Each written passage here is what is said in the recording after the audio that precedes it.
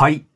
今回はアンミカのどん兵衛 CM 炎上の件と黒い噂、あとですね、大阪万博の旗振り役である件、こちらを考えてお伝えしていきます。今回もよろしくお願いいたします。このアンミカっていうまあ芸能人の話がですね、炎上しているということで、えー、まあ、ちょっとそのことに関しては詳しくわからないんですけれども、まあ、僕もまあ皆様と同じ考えででして、えー、この不買運動派なんですよ。このことを調べると、もともと別にどん兵衛を買うわけではないんですけど、まあ、あ同じ不買派なんですね。ただしちょっと、まあ、なんていうのかな、途中経過が違うんじゃないかっていうことですが、結果的に、まあ、同じ。まあ、一言で言うと、まあ、許せないっていう話ですね、このアンミカっていうこの芸能人。まあ、何かっていう話なんですが、まあ、このどん兵衛っていうね、えー、まあうどんですか、これを、まあ、まあ、買わないっていう、まあ、不買運動が進んでいるっていうことが、まあ、よく言われてるんですが、まあ、これに関してはっきりとは分からないんですけど、おそらくこういったことから、え、多くの人が下げてるんじゃないかと思います。で、まあ、それもそうだと思うんですが、僕が許せないのはちょっと違うんですよね。うん、同じく許せないんですけれども、ちょっと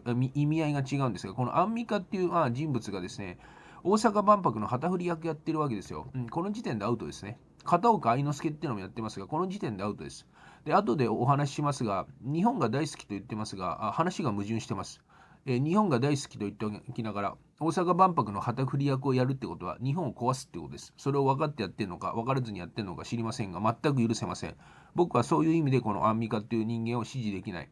と思ってます。で、多くの方がこのアンミカをですね、えー、まあ敬遠する内容っていうのがありまして多分多分そのこの話も本当かどうかわからないけれど多分そうなんだろうなって、まあ、思う、まあ、内容について、まあ、皆さんもご存知かもしれないですし興味を持たれていらっしゃるかもしれないんで、え、ちょっと考えていこうと思いますがこのアンミカっていう人はですね、え、韓国の、まあ、生まれっていうことで、え貧しいところに、え生まれて韓国のそれで家族で日本に移り、え住んだってことなんですがこの家族族で日本に移り住んだってところがかなり疑問なんですね。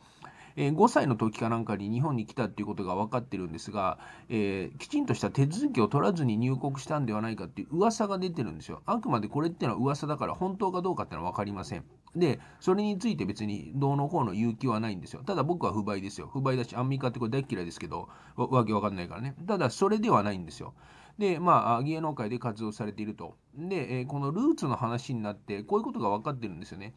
アンミカっていうまあ人に対して、えー、まあ、国籍をまあ問われたときに、韓国籍のままっていうことなんで、あこのルーツがね、えー、日本ではないっていうことがわかるじゃないですか、本人が言ってるわけだから。さらに、永住権を、まあ、取得していないんじゃないかっていうことがまあ言われてるんですよ。で、これっていうのも、えー、まあ、なぜなのかっていう経緯がわからないところもあるんですよね。まあ、4歳、5歳から日本に、えー、来て、えー、まあ、永住権を永住権の要件を満たしていないのかな。あだからこの正当な手続きを、えー、取らずに日本に入ってきたんじゃないかっていうことが言われている。まあそうかもしれないが、本当かどうかはわからないっていうことで。で、このアンミカの、まあ、韓国の話っていうのは、この最終島っていうところで、えー、まあそうなんですが、あの何が引っかかるのかというと、これが引っかかるんですよ。4歳の時に両親と共に海を渡り、日本に来たっていうことなんですが、本人1人で来たんだったらまだ話がわかるんですが、えー、この貧しい、えー、家にいて、貧しい家の家族がですね、日本に来れるんだろうかっていう疑問がありませんかって話なんですよ。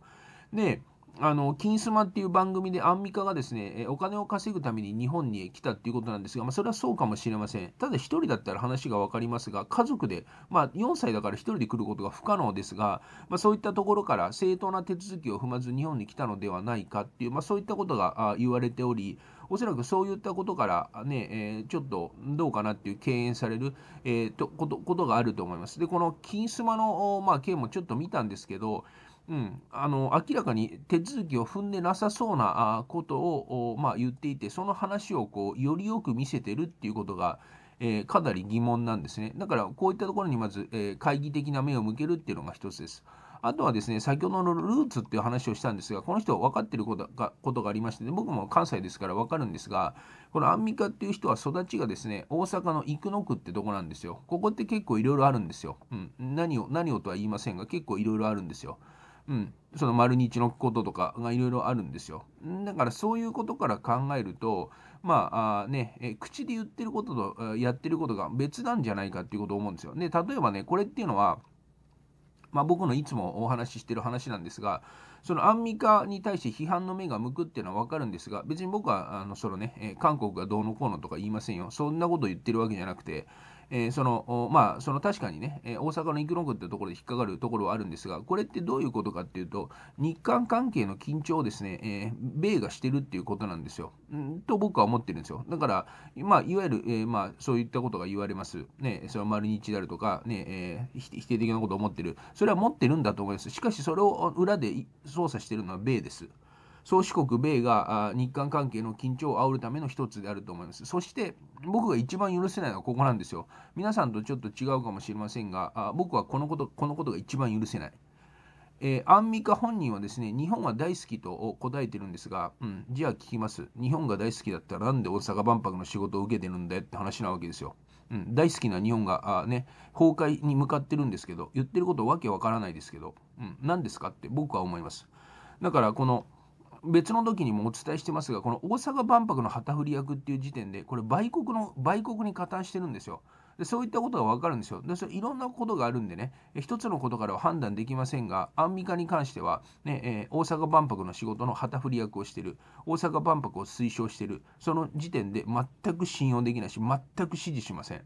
僕は別にアンミカっていう芸能人を詳しいわけじゃないし、人気があるんでしょうけど、うん、人気があったら何だって話ですからね。うん、大阪万博の旗振り旗振り役やってる時点で、有名人だろうが、有名インフルエンサーだろだろうが何だろうが、日本を破壊してると僕はそういうふうに思ってるんで、一切支持しません。有名人、無名人、関係ないって話です。ここが一番僕は許せないと思いました。あまりこの件について、まあ、かなりね、炎上してるネタではあるんですが、この大阪万博の旗振り役っていうところで、えー、まあ、見てる人は少ないのかなと思いまして、えー、このようなことを、まあ、僕は思いますっていうことでお伝えさせていただきました。